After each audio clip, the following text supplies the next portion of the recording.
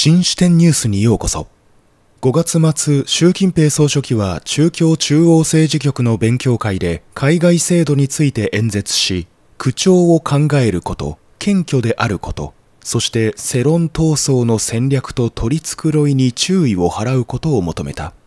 多くのメディアは習近平総書記の演説が公式メディア、孔子学院、外務省、外交施設を含む中共の対外宣伝システム全体を対象としており、中共は自分たちの国際的なイメージが悪いことを認識していると報じた。一部のアナリストは習近平総書記の演説は中共の戦狼外交と戦狼式対外宣伝に対する不満の表れであり中共が莫大な資金を投入して長年運営してきた大規模な対外宣伝活動の挫折によって強硬な戦狼外交がしばしば問題を引き起こしその結果中共の国際的なイメージの悪さは逆転するどころかさらに悪化し同時に習近平政権のイメージを傷つけたと分析している。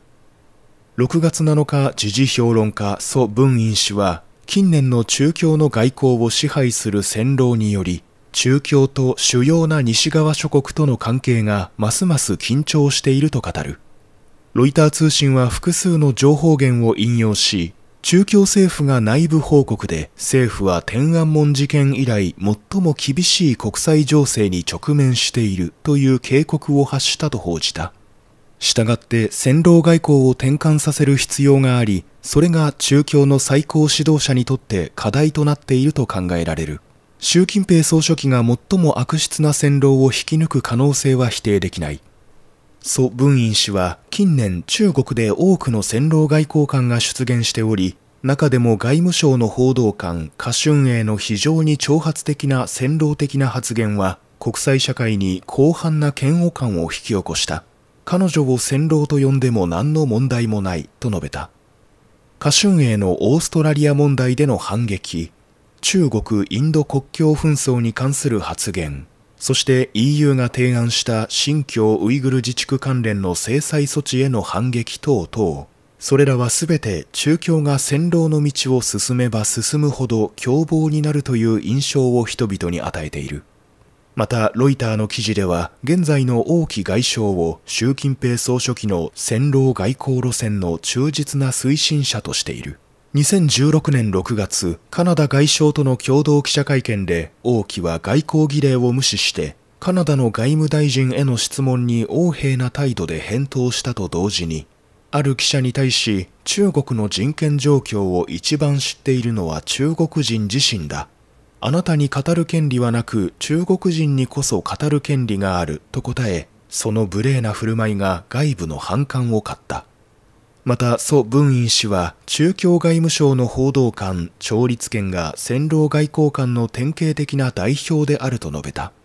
2020年2月当時在任1ヶ月目だった趙立堅は中共ウイルス新型コロナウイルスの流行に関してウイルスがアメリカの兵士によって中国の武漢に持ち込まれた可能性があるとツイートしアメリカは私たちに説明すべきだと宣言したことで広く物議を醸した。その後、調律権は、ファイブアイズ同盟が中国の利益を損なうなら、目が疲れて失明しないように気をつけろと主張した。ロイターは、調律権などの新世代の外交的タカ派が、中国の長年の外交モデルを破ったと評した。中共の外交官、楊潔地国務委員は、バイデン政権になってから初めての米中首脳会談で中国人はもうその手アメリカのやり方は食わないと15分間にわたってアメリカを非難した。3月駐フランス中国大使のロサヤはフランスの学者アントワーヌ・ボンダズ氏をゴロつきと侮辱したツイートをした。フランスの中国大使館は戦狼がいるとすればそれは強権が多すぎるからだと主張し戦狼外交を擁護した。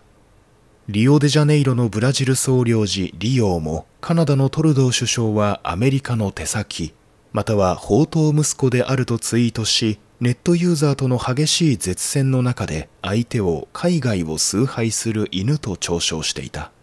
フランス国際放送局ラジオ RFI は中共の外交官は国際舞台で中国を代表しているが、彼らが汚い言葉を口にするならどうやって中国のイメージをより良くすることができるだろうかと述べた。中には中共の外交官が頻繁に繰り広げる戦狼省は非難できないという分析もある。誤解を恐れずに言えば全ては政治生命のためであり中央官庁のための省ではないのだという。中央当局を叱咤激励してうまく行動した者が昇進して報われる可能性があるのだ。同報道は習近平総書記の演説から判断すると対外宣伝機関は手を出しすぎたのではないかと報じている。今改めて見るとファイブアイズ同盟の目をつくと言っていた調律権も今になって罪を認め始めているようで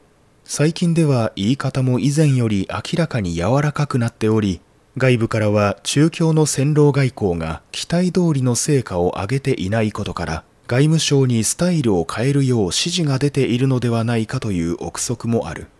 蘇文院氏は中共の戦狼外交の転機を迎えるには習近平総書記が戦狼を羊に変える必要があると分析した。彼ら凶暴な戦狼を引き抜くことができない場合、転機を迎えることはできないが、しかし習近平総書記が直面している問題は、信頼できる人物で屈辱に耐え、国際社会の尊敬を集めることができる人物を見つけることができるかということである。